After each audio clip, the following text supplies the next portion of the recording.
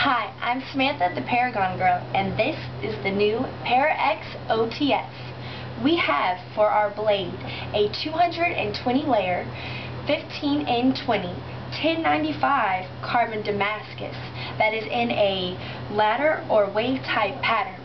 This blade was specifically hand ground for us here at Asheville Steel by one of our master knife makers, Eddie White. And you can see more of his beautiful work at shadowknives.com. As you see, our handles come in a variety of colors, the red being my favorite. And to get one of these knives, you can come to my website and I'll guide you through at ashevillesteel.com.